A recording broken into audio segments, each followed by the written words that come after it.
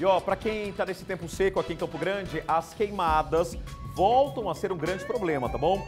Ontem, por exemplo, um terreno na região do bairro Piratininga, aqui na capital, foi incendiado.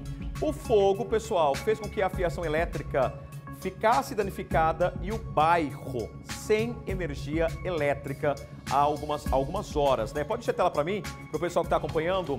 Para você que tem aí, ó, alguma vegetação seca, terreno baldio, pessoal, manda pro Rodrigão agora. Manda pro Rodrigão agora. A equipe do Balão Geral esteve ontem à tarde, conversou com os moradores. Lua Martins.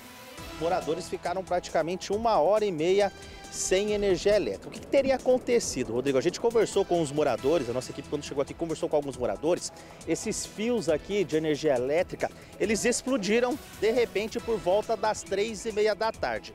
E as faíscas caíram no chão e acertaram esse terreno que fica ao lado aqui da Avenida Fábio Zaran, como você disse, região do Jockey Clube, do Ipiranga e também do bairro Piratininga. Então, essas chamas acertaram então, chegaram nesse terreno baldio e acabou pegando fogo. Mas segundo os moradores, tudo começou por conta desses dois fios de energia elétrica que explodiram de repente. A dona Lúcia, ela é comerciante, Rodrigão, e ela tem o comércio dela bem na esquina onde aconteceu tudo isso. Ela vai conversar com a gente como que aconteceu e, e o susto que vocês levaram. Realmente, eu trabalho aqui na Radiadora de São Luís, foi horrível, foi uma explosão, né? Os, fios se, os fios se romperam, né?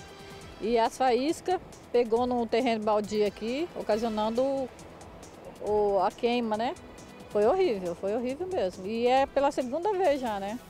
Você falou que recentemente também em outro poste aconteceu isso. Já, já teve isso. E é, a Energisa fala que é, os postes é muito perto um do outro, né?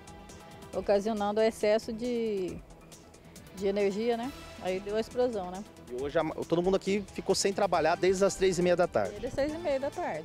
Obrigado, viu, dona Lúcia? O Rodrigão, olha só, a equipe da Energisa, equipes da Energisa, melhor dizendo, já estão aqui, eles estão fazendo a manutenção e a assessoria de imprensa da Energisa mandou uma nota para nossa equipe informando que já está em atendimento nesta, nesta ocorrência de falta de energia que foi registrada nesta quarta-feira por volta das 4 horas da tarde, com a interrupção de 3.626 clientes. As equipes foram mobilizadas e identificaram a presença de cabo partido na Avenida Fábio Zaran.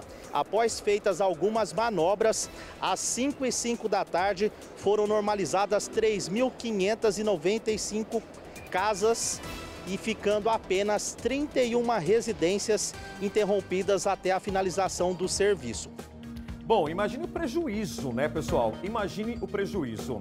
Sabe aquele termo que eu sempre falo, né? Eu acho que as pessoas não têm noção do que elas estão provocando, porque provavelmente esse incêndio não surgiu do nada.